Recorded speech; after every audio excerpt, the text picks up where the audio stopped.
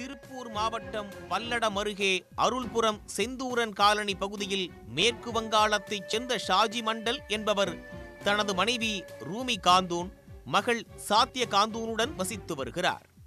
இவர் சின்னக்கரை பகுதியில் உள்ள தனியார் பணியன் நிறுவனத்தில் கான்ட்ராக்ட் மூலம் ஆட்களை வைத்து வேலை செய்து வருகிறார்.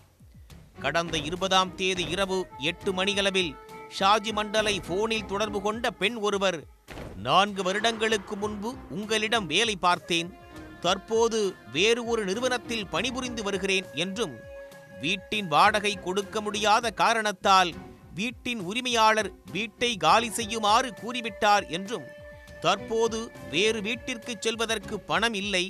எனவே நீங்கள் நான்காயிரம் ரூபாய் பணம் கொடுத்து உதவ வேண்டும் என்றும் அடுத்த வாரத்திலிருந்து உங்களிடம் வேலைக்கு வருகிறேன் என்றும் கூறியுள்ளார்.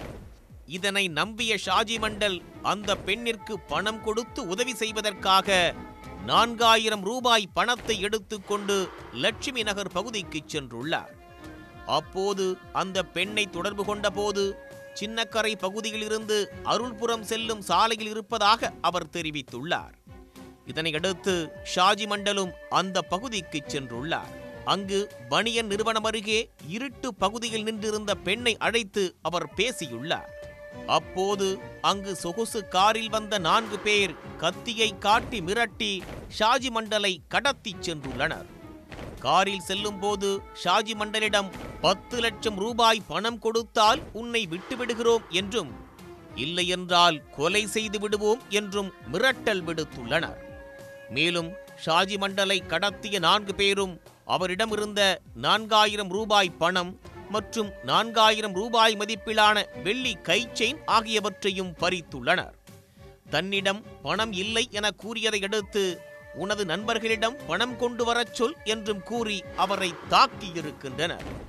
தொடர்ந்து அவரது கண்களை கட்டி அடையாளம் தெரியாத கட்டிடத்திற்கு அழைத்துச் சென்று கை கால்களை கட்டி கத்தி மற்றும் இரும்பு ராடால் சரமாரியாக தாக்கியுள்ளனர்.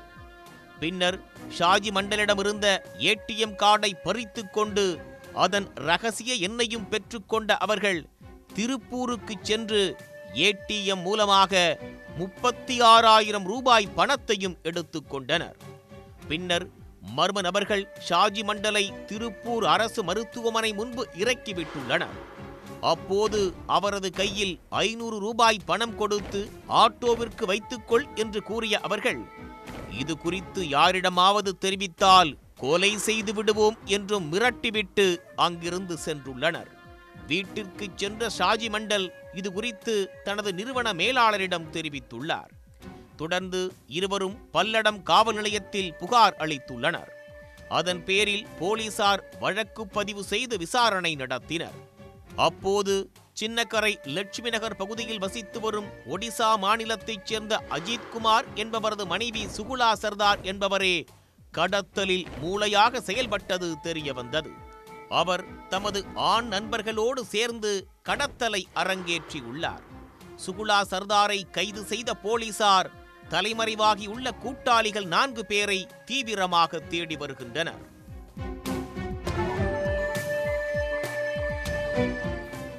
இதேபோன்று காட்பாடி அருகே போதையில் வீடு புகுந்து கத்தியை காட்டி மிரட்டி ரகளையில் ஈடுபட்ட வடமாநில இளைஞரை பிடித்து பொதுமக்கள் போலீசாரிடம் ஒப்படைத்தனர். காட்பாடி அடுத்த அக்கிரட்டி புதூர் பகுதியில் வசிக்கும் இளைஞர் ஒருவர் மது போதையில் அங்குள்ள வீடுகளுக்கு உள்ளே புகுந்து தண்ணீர் குடத்தை உடைத்து அட்டகாசம் செய்ததோடு கற்களை வீசி கத்தியை காட்டியும் மிரட்டல் விடுத்துள்ளார். அதனால் கிராம மக்கள் அச்சமடைந்துள்ளனர். வடமாநிலத்தாரை யாரும் தாக்கக்கூடாது என்ற அரசின் அறிவுறுத்தலுக்கு இணங்க ஊர் பொதுமக்கள் இது குறித்து காவல்துறையினருக்கு தகவல் அளித்தனர். தகவலின் பேரில் சம்பவ இடத்திற்கு வந்த காட்பாடி காவல்துறையினர் ரகளையில் ஈடுபட்டிருந்த இளைஞரை பிடித்து காவல் நிலையத்திற்கு அழைத்துச் சென்று விசாரணை நடத்தினர். உடனுக்குடன் செய்திகளை தெரிந்து கொள்ள சன் நியூஸ் பெல் கிளிக் பண்ணுங்க.